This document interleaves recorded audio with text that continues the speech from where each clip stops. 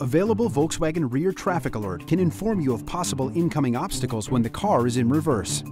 When the vehicle is moving in reverse, a radar system scans an area directly behind the vehicle on both sides. If a moving vehicle is detected, then the system goes into action. The vehicle will give a visual warning and an audible warning to the driver. If needed, the system will apply the brakes to slow the vehicle to help avoid a possible collision. Volkswagen Rear Traffic Alert, one of many available driver assistance features that helps make sure your drive is an easier one.